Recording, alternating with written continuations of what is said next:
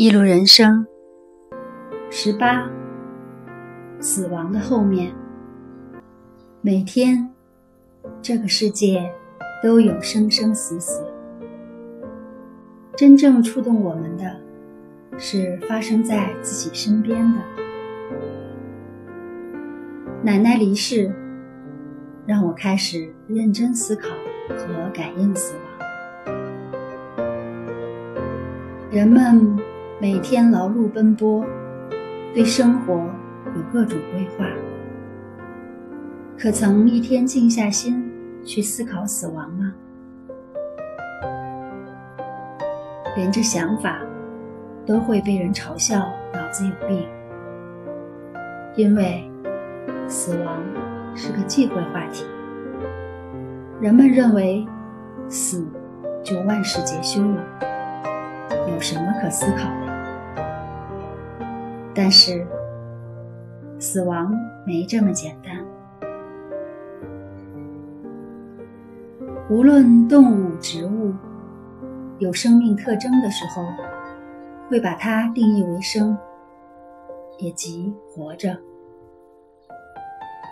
而对死的定义，尤其是人类死亡的定义，认识上有个渐进过程。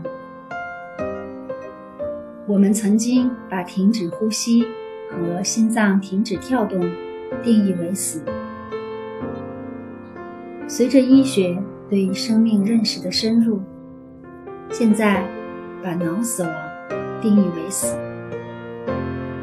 那么，死亡到底是什么？生与死都是能量存在的一种状态。生死之间是能量流转的一个节点。对生命现象而言，生是死的一种偶然，死是生的一种必然。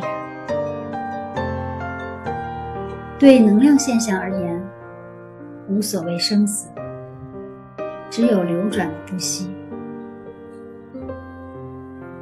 人们对死亡的恐惧。本质上是恐惧，我不在了，我没有了。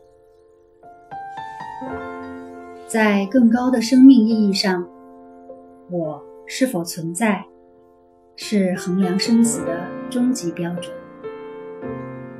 真正的死亡，是一体自我意识的消亡，一体被消化。即便素体还在人世，其实他已经死了。他的素体是被其他能量驱动，而一体唤醒的人，素体寿终正寝后，我的意识依旧会存在下去。为便于理解这点，也为避免歧义。死亡的后面，可以分为三类人的三种情况：一体沉睡的众生、宗教信仰者、一体唤醒者。一、一体沉睡的众生，可以说，在降生之初，我们都是一体沉睡的众生。在人生历程中，某些人信仰了宗教，某些人一体唤醒，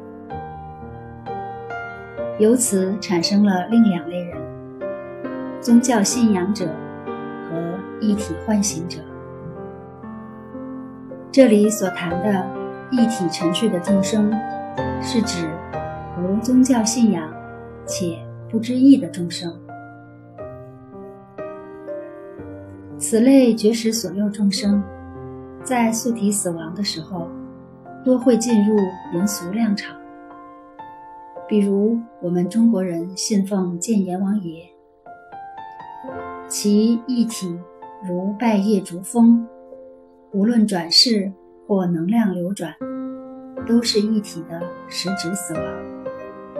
我便真的不在了。二，宗教信仰者。宗教是其信仰者的世界观，我们尊重不同的世界观。在活着的时候，宗教信仰者一体已经被宗教量场同化，甚至消化，可以称为死亡的一体。其素体虽然活着，但执行着宗教意志。在素体死亡的时候，其一体能量同化于宗教量场，我消亡，即实质死亡。至于宗教信仰者的一些神机体验，仅存在于该宗教量场相世界，并不意味着普遍真相。例如。信教的说见了神，唯物的说见不到。他们所处量场不同，绝食不同，都对。但跨出其量场之外，便什么也不是。三，一体唤醒者，对一体唤醒者而言。死亡的后面，并非万事皆休。素体生命是个体悟的过程，只是轮回波一个片段。它不能将我们束缚，也结束不了我们的追求。人这一辈子，三十年前谋生，三十年后冥死。年轻时拼搏，是为素体人生努力；静下心时，唤醒一体，是为一体永生努力。这份努力，对每个人，才是更实际的价值。一体唤醒者有自己的归宿，素体死亡，一体进入异界。一体对异界能量的感知，同样带给我们物质感、真实感，与众生界无异。因生而须明死，明死而知牺牲，明生死是为善待生命。